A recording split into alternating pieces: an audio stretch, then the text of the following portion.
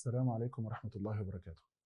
إن الحمد لله تعالى نحمده ونستعين به ونستغفره ونعوذ بالله تعالى من شرور أنفسنا ومن سيئات أعمالنا.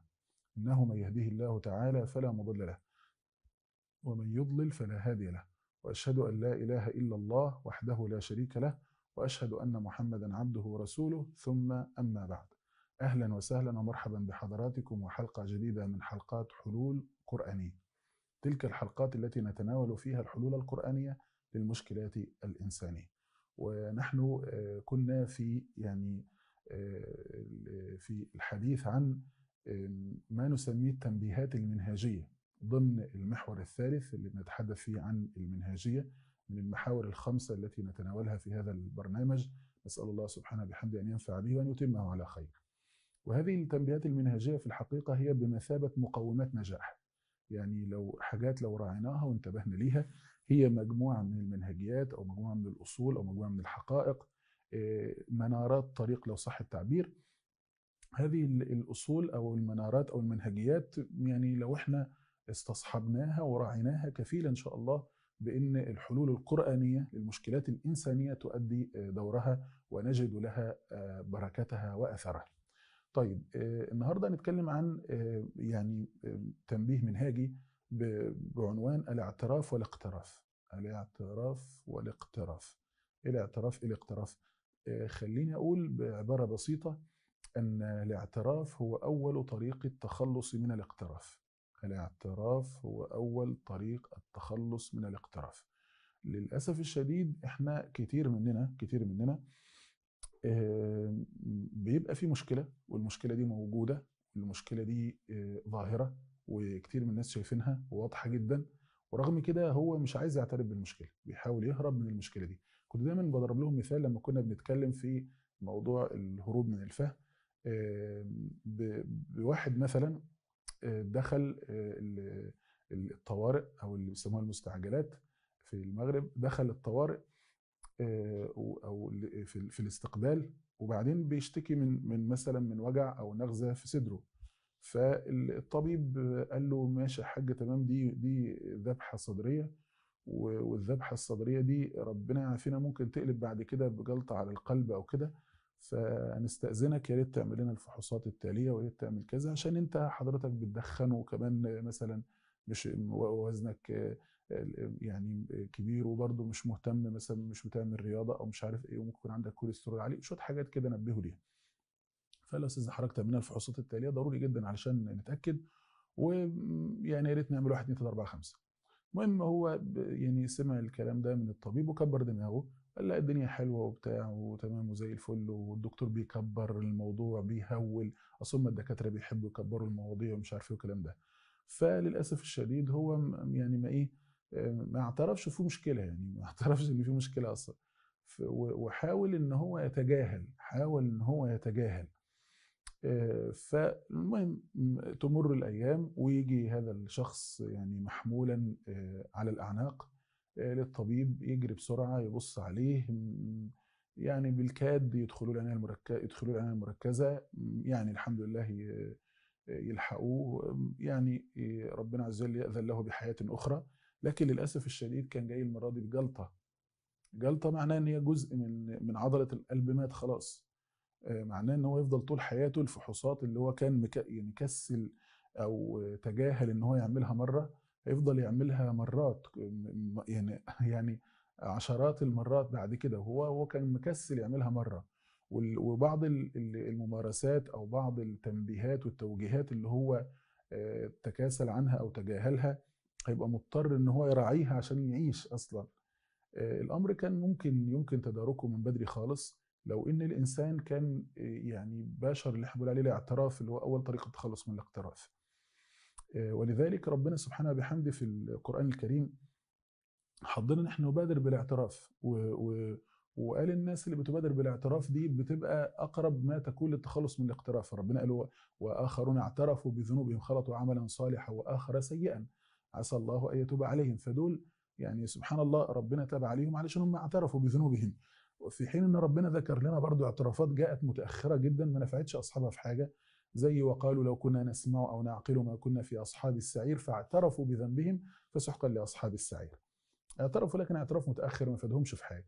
نفس القصة برضو في قالوا ربنا أمتنا اثنتين وأحيتنا اثنتين فاعترفنا بذنوبنا فهل إلى خروج من سبيل؟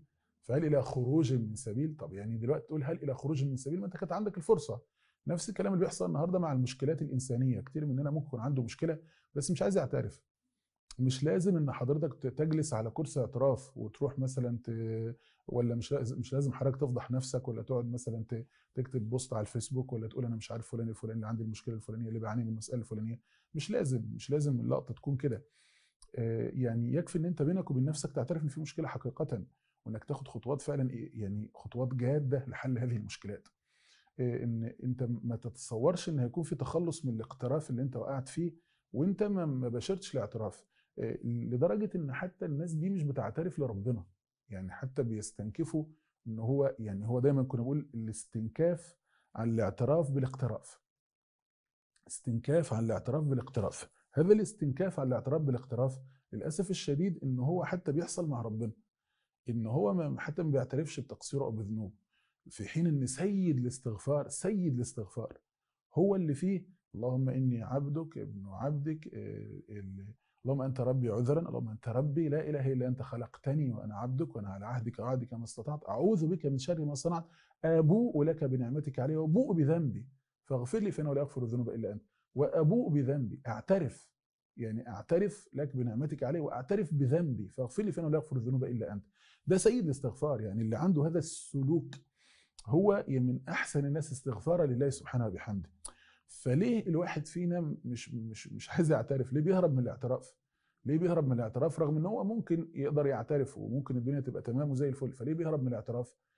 والاعتراف ده يكون طريق تخلص من الاقتراف. ليه يبقى عنده استنكاف استنكاف من الاعتراف بالاقتراف؟ ليه يبقى عنده استنكاف من الاعتراف بالاقتراف؟ ليه بيستنكف؟ يستنكف إن هو يعترف؟ فالنهاردة وإنت إنت عندك مشكلة أو إنت عندك مشكلة طب ليه إحنا بنستنكف نعترف؟ أنا والله أيوه عندي المشكلة الفلانية ربنا يتوب عليا يا رب بس يا ريت تساعدوني بس إن شاء الله أكون كويس. أه تقول لزوجها ساعدني يقول لزوجته ساعديني يقول اللي حواليه ساعدوني اللي حواليه بيحبوه هم عايزين يساعدوه. طب ليه ليه ما ليه ما, ليه ما يحصلش الكلام ده؟ للأسف الشديد بيبقى في استنكاف عن الاعتراف بالاقتراف. وبنتصور إن ده بيعمل إيه؟ إن ده بي يعني بينقص من قدرنا ولا ده بيوحش منظرنا في حين إن هو في الحقيقة بالعكس بيرفع من قدرنا وبيعلي منظرنا. عكس ما نتصور أو نتوهم تماما تماما تماما. المشكلة إن بتصل إن مش بس مع البشر لأ بتصل إن هو كمان حتى مع ربنا سبحانه وبحمده هو ما بيعترفش. يعني ما اذنب ما بيعترفش قصر ما بيعترفش.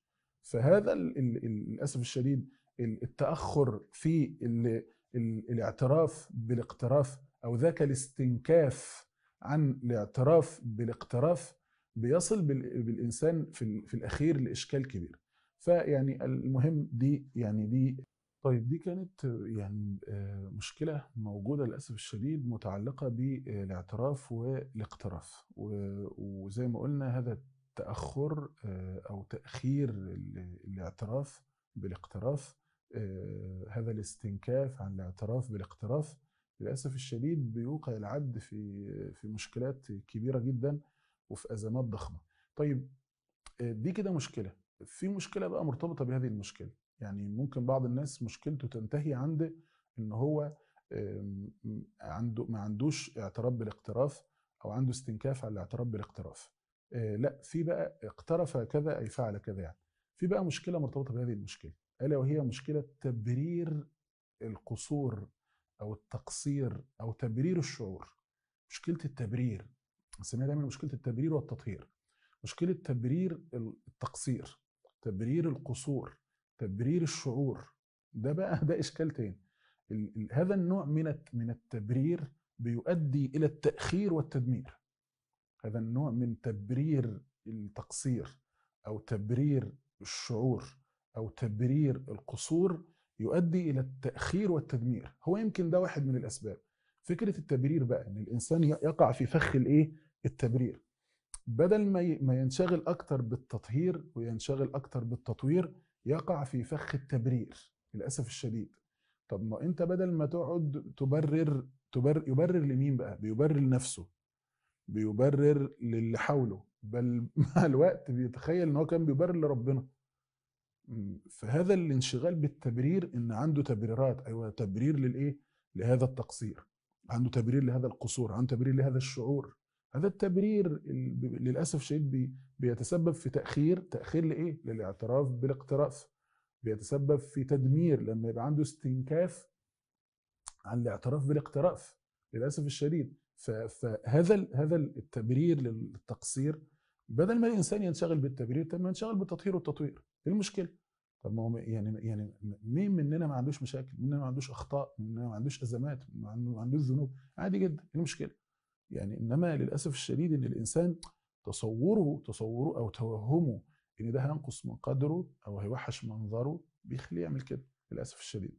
فيقع في التبرير بدل ما ينشغل أكتر بالتطهير وبالتطوير. الحلول القرآنية للمشكلات الإنسانية مش هتعمل عملها كما ينبغي عند واحد أصلا هو لسه عنده أزمة في الاعتراف بالاقتراف. يعني عنده واحد عنده استنكاف عن الاعتراف بالاقتراف. واحد عنده تبرير تقصير عنده تبرير قصور عنده تبرير الشعور بتاعه. انت بتتضايق ليه؟ ما أصل أنا مش عارف إيه متعصب ليه؟ ما أصل كذا مش عارف هذا الذي لديه هذه الأشياء هذا الذي لديه هذه الأشياء. إزاي الحلول القرآنية هتعمل عملها معاه؟ هي دي الفكرة يا جماعة إن في موانع في حواجز في حاجات ما بتخليش الحلول القرآنية تعمل عملها. المفروض إن هذه الموانع وهذه الحواجز إحنا واخدين بالنا منها ومنتبهين ليها. كأنها حوائل تحول بين الإنسان وبين ما ينبغي أن يكون في هذا الباب. علشان كده بننبه هذا التنبيه المنهاجي الضروري جدا جدا جدا. مع الحلول القرآنية للمشكلات الإنسانية محتاجين المشكلة بتاعت حضرتك. لو سمحت لو سمحت بلاش تأخير الاعتراف بالاقتراف. بلاش استنكاف على الاعتراف بالاقتراف. بلاش الله يبارك لك تبرير التقصير. بلاش الله يبارك لك آه، يبارك لك تبرير الشعور اللي هو سيء بيجي لك أو اللي بيقع في قلبك ده. بلاش تبرير القصور بلاش الكلام ده لأن ده فعلا يفضي إلى تأخير. تأخير زي ما قلنا الاعتراف بالتخلص من الاقتراف يفضي إلى تدمير لما يوقع الإنسان في في الاستنكاف عن الاعتراف بالاقتراف. وساعتها الحلول القرآنية مش تعمل عملها. يعني الحلول القرآنية مش تعمل عملها أصلا. فالشخص ده أصبح عنده مشكلة أصلا محتاج يحلها الأول ومن بعد حل المشكلة دي يكون بقى النقطة اللي بعدها.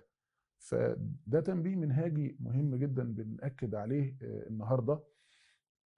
وده وده سبحان الملك بنشوفه بشكل واضح جدا بدون أي إشكال عند ناس كتير من من الصالحين.